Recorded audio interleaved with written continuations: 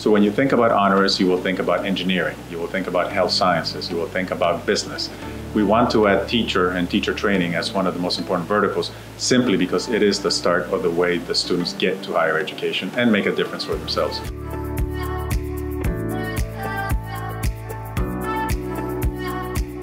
So the most important uh, element to me is the belief in education for impact, the belief that we can create world-class African talent.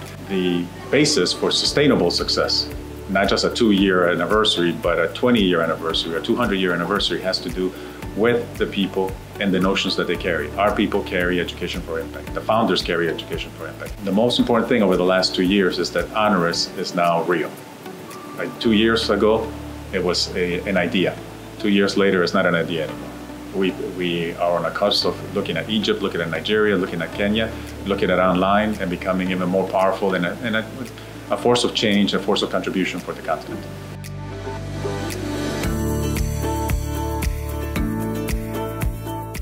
First and foremost, administrative leadership does not change or create opportunities. Administrative leadership is efficiencies. Administrative uh, leadership leads to objectives. The Academic Council exists because we are an academic project. We are an educational project. And so we need to have the innovation from our academic leaders to make a difference. One of the, the biggest objectives that the Academic Council has today is to introduce what we're calling the honoris uh, certificate, uh, 21st century skills certificate to be uh, more clear. And the certificate is meant to bring soft skills and digital skills. The formal curricular map will have within it active learning, we'll have some problem-based learning, we'll have some skill sets that the students will come together, well, they practice communication, project, uh, teamwork.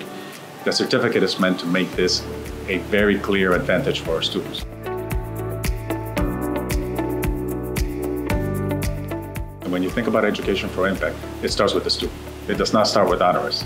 We profess it, but education for impact is not institutional, it's individual. I want to have every student that comes in contact with us have a, a change of trajectory in their life.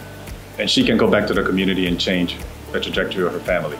And the family changes the community. So as I think about it, the uplifting that we could do, uh, economically, for sure. The uplifting that we can do in terms of broadening the horizon and the thinking, absolutely. That's why we're Pan-African. Not just because there's an opportunity to be Pan-African, but to be bigger than your own community. If one student changes their path because they've had an education with us that prepares them for that, we have done very well.